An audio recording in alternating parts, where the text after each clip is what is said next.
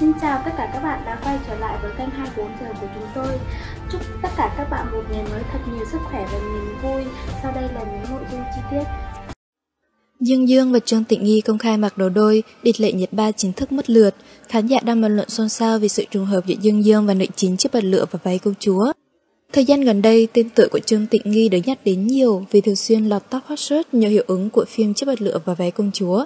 Giữa lúc được đệ thuyền nhiệt liệt với Trần Phi Vũ, có người bắt gặp Trương Tịnh Nghi và Dương Dương mặc đồ đôi, những nghi vấn về mối quan hệ của tịch tin đồn địch lệ nhiệt ba với học trò Châu Tấn đã được đặt ra.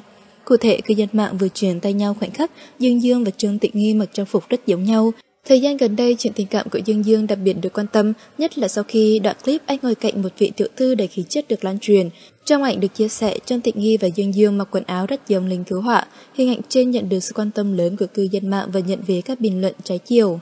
Theo đó, nhiều khán giả cho rằng việc cả hai mặc đồ giống nhau chỉ là sự trùng hợp, nhưng cũng có người nghĩ sâu xa hơn rằng hai diễn viên nổi tiếng đang rủ nhau cosplay hình tượng người lính cứu hỏa nhân một dịp đặc biệt nào đó. Các nghi vấn về mối quan hệ giữa Dương Dương và Trương Tịnh Nghi cũng được đặt ra. Tuy nhiên, sau một hồi tranh cãi, fan của cặp đôi đã đính chính rằng bức ảnh trên được chụp tại hậu trường phim mới của Dương Dương và Trương Tịnh Nghi. Hình ảnh được lan truyền cũng chính là tạo hình của Dương Dương trong khói lửa nhân gian của tôi và Trương Tịnh Nghi ở phim Ảnh bước ra từ trong ánh lửa.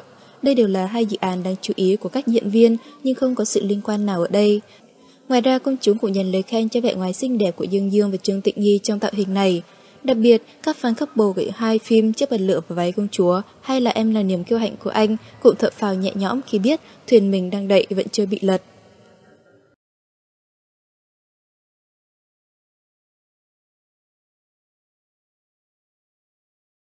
Bản tin của chúng tôi đến đây là kết thúc. Cảm ơn các bạn đã quan tâm theo dõi. Hẹn gặp lại các bạn ở những tin tiếp theo.